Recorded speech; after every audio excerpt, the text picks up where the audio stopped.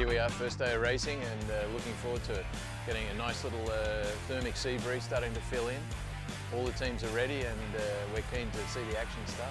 I'm feeling fantastic because it's the first time I'm sailing here on this place and first time to be a competitor in the Extreme 40 World Championship. For sure, we had not so much training, but uh, anyhow, we tried to make a good race and it looks to be a very, very nice sailing day.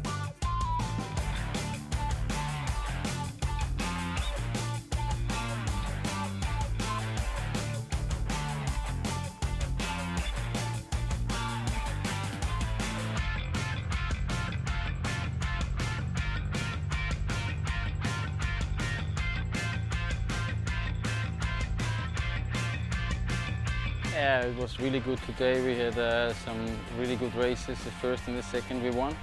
Had a really good start and we're leading uh, up from the first mark.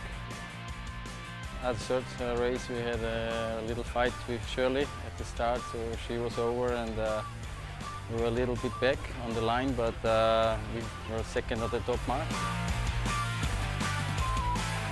Well, I'm really happy about our result. We're just one point behind after three races, which is really close. And I think anything can happen in the next few days. Results on the first day, I think it's kind of fine. You know, we sailed pretty well and we made a few mistakes and we'll certainly be looking to, to be a bit faster and smarter tomorrow. But, you know, it's a long way to go. It's only day one. So we're just looking to get better and better.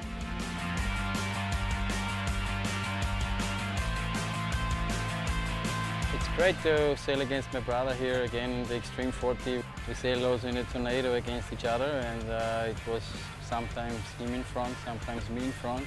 I mean, he's double Olympic champion on the Tornado and he's one of the best sailors in the world, of course.